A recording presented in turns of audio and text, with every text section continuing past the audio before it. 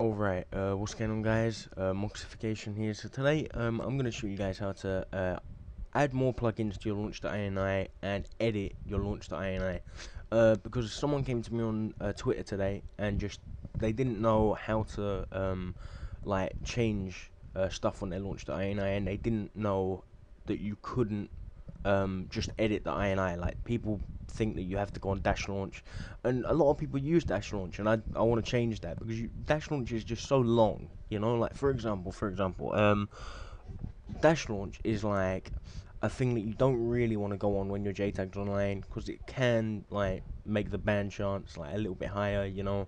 Like if you're signed into Xbox Live and you forget you're signed into Xbox Live and you go on dash launch then you're probably going to get banned most likely. Not 100% but you're probably going to get banned.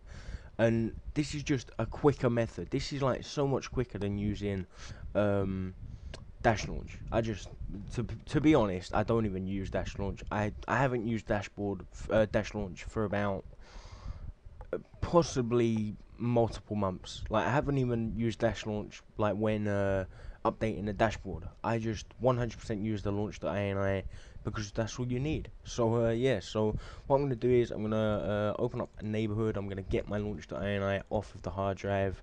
Uh, where is it? It's launch.ini. Mm, there. Alright, launch.ini. So I'm drag and drop that to the root. Not to the root, to the desktop.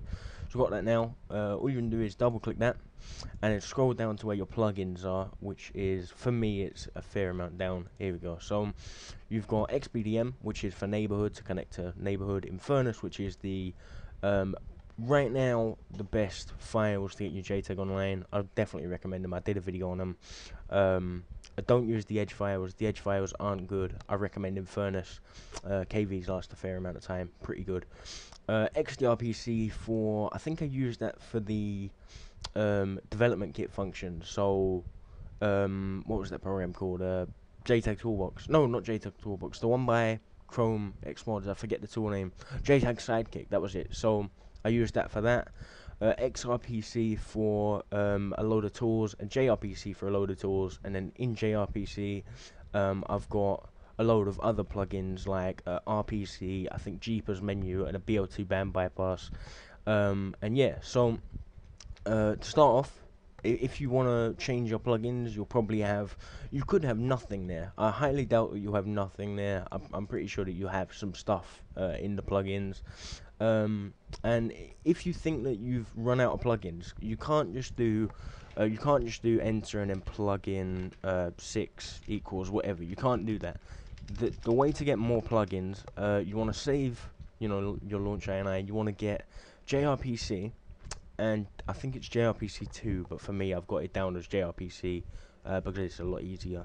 Um, and you want to get, you know, what I'll do is I'll put my launch launch.ini in the description, and I'll put like a load of other stuff with that. I'll put XBDM with that. I'll put Infernus with that.